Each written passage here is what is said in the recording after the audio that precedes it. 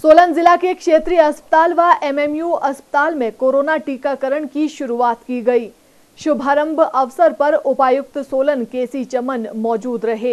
इस टीकाकरण से पूर्व सोलन अस्पताल में हाई प्रोफ़ाइल ड्रामा देखने को मिला। जिनको पहले टीका लगना था, वे वैक्सीन केंद्र तक पहुँचे ही नहीं और विभाग द्वारा चतुर्थ श्रेणी के कर्मचारी को वैक्सीन केंद्र लाया गया, लेकिन वो टीका लगाने से साफ़ मुकर गया। आनंद फानन में ये सारी प्रक्रिया पूरी की गई। कोरोना टीकाकरण के शुभारंभ मौके पर सोलन में डॉक्टर शालिनी ने अपने आप को कोरोना का पहला टीका लगवाया। उपायुक्त सोलन केसी चमन ने कहा कि डॉक्टर शालिनी को पहला टीका कोरोना का लगाया गया है। उन्होंने कहा कि धीरे धीरे ये अभियान सब तक पहुंचेगा। जैसे जैसे निर्देश होंगे, उसके मुताबिक टीकाकरण किया जाएगा। उपायुक्त ने कहा कि कोरोना का टीका प्रमाणिक है और जैसे जैसे अभियान चलेगा वैसे वैसे लोगों को मैसेज भेजे जाएँगे और नज़दीकी सेंटर में टीका लगवाया जाएगा। आगाज़ आप सबके सामने हो चुका है और ये जो कोरोना, जो कोविशील्ड है सीरम इंस्टीट्यूट ऑफ़ इंडिया की, जो हमें टीका की वॉयल्स डिस्ट्रिक्ट में आई है, इसका अभी पहले हेल्थ केयर वर्कर्स को लगाया गया है। जैसे आपने देखा कि डॉक्टर शालिनी का ऑटो रेंडमाइजेशन से जो नाम सामने आया है, कंप्यूटर से जनरेट हुआ है तो पहला ये लगाया गया है सबके सामने। और इसमें एक है कि भाई कंसेंट है। भाई इन्विटेशन है और भाई कंसेंट है। कंसेंट है कि भाई इसको लगाना चाहता है, कोई आदमी बाद में लगाना चाहता है। इसको था ना ले। इसकी एफिकेसी टेस्टेड है और उसके बाद इसको लॉन्च किया गया है।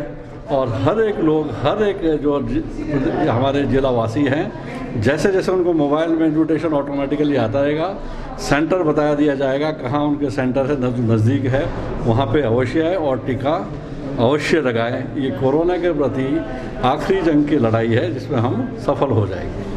वहीं कोरोना का टीका लगाने के बाद डॉक्टर शालिनी ने कहा कि ये एक नॉर्मल प्रक्रिया है। उन्होंने कहा कि स्वास्थ्य कर्मियों सहित अन्य लोगों को भी टीकाकरण के बारे में जागरूक करने की आवश्यकता है।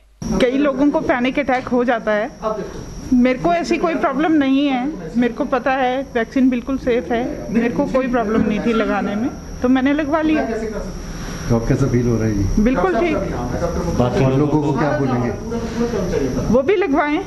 वो भी फील सेफ़ फील करेंगे लगवाने के बाद।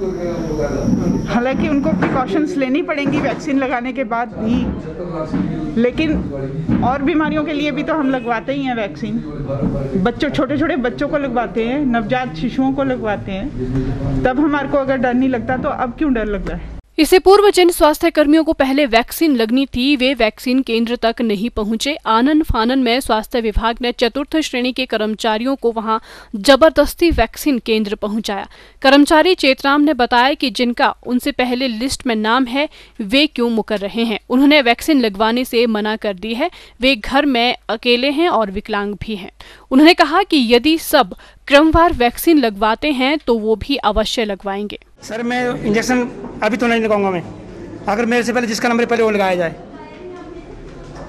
क्यों? मतलब आपको आपको क्या डर है? नहीं सर। मैंने पहले बोला आपको कि मेरे परिवार का मैं एक है व्यक्ति मैं विकलांग हूँ और मेरे दो बच्चे हैं मिसी है मदर भी है घर में। अगर मैं उनको संभालने वाला कोई नहीं है अगर मेरे को कोई है तो उसकी रिस्पॉन्सिबिलिटी कौन लेता है?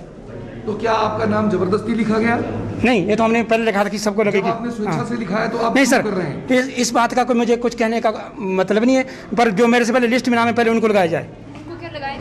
नहीं अभी किसी को नहीं लगाई गई है। मेरा नंबर आपको ये भय है कि हाँ जी।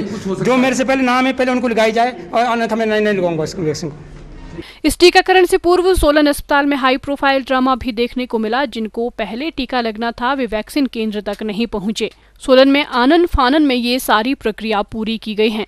ये बात साबित करती है कि स्वास्थ्य कर्मी ही इस टीके को सुरक्षित नहीं मान रहे तो अन्य लोग कैसे विश्वास करेंगे? Bureau report, city channel Solan.